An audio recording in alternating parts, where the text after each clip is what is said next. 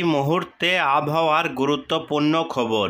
ইতিমধ্যেই বঙ্গোপসাগরের নিম্নচাপটি উত্তর দিকে অগ্রসর হয়ে এই মুহূর্তে অন্ধ্রপ্রদেশের মধ্যে অবস্থান করছে। তার জেরে ইতিমধ্যেই অন্ধ্রপ্রদেশ উপকূল এবং মধ্য পশ্চিম বঙ্গোপসাগরে প্রবল ঝড় উঠেছে। ঘন্টায় সর্বোচ্চ পঁয়ষট্টি থেকে সত্তর কিলোমিটার গতিবেগে ব্যাপক দমকা ঝোড়ো হাওয়া শুরু হয়েছে। তার সঙ্গে বজ্র বিদ্যুৎ সহ কোথাও হালকা, কোথাও মাঝারি, কোথাও ভারী বৃষ্টির লক্ষ্য করা যাচ্ছে। অন্ধ্রপ্রদেশে ভারী বৃষ্টি, উড়িষ্যাতেও ইতিমধ্যে হালকা মাঝারি বৃষ্টি শুরু হয়েছে। আগামী চব্বিশ ঘণ্টার মধ্যে নিম্নচাপটি উত্তর পূর্ব দিকে অগ্রসর হয়ে এবার উড়িষ্যাতে প্রবেশ করবে এবং উড়িষ্যা অতিক্রম করে আগামী বাহাত্তর ঘণ্টার মধ্যে নিম্নচাপটি পশ্চিমবঙ্গে ঢোকার সম্ভাবনা রয়েছে। তার জেরে আগামী তিরিশ তারিখ পশ্চিমবঙ্গ সহ বাংলাদেশে প্রবল ঝড় বৃষ্টি শুরু হবে। তার সঙ্গে কোথাও ভারী, কোথাও মাঝারি বৃষ্টি রয়েছে। আগামী তিন চার দিন বৃষ্টি হবে বাংলায়। এদিকে বাংলাদেশের ক্ষেত্রে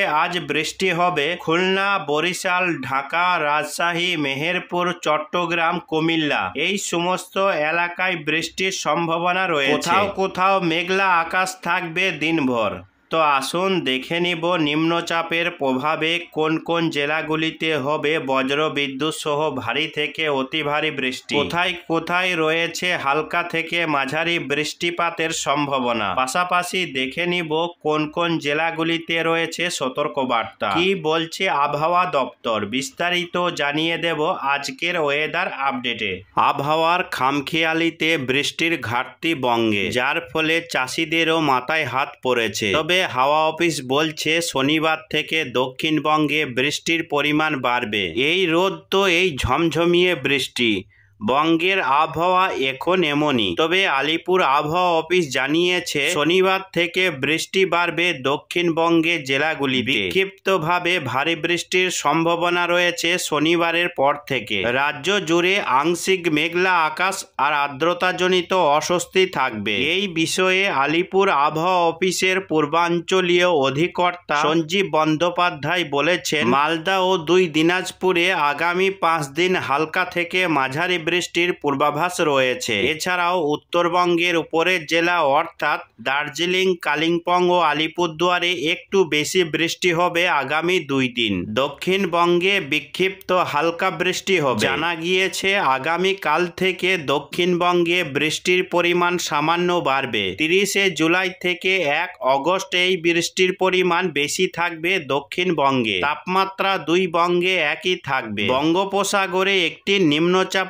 রয়েছে, তার প্রভাবে উপকূলের জেলাগুলিতে একটু হাওয়ার গতি থাকবে। তাই আজ পর্যন্ত মৎস্যজীবীদের মাছ ধরতে যেতে বারণ করা হয়েছে। কলকাতাতেও বিক্ষিপ্ত হালকা বৃষ্টি চলবে।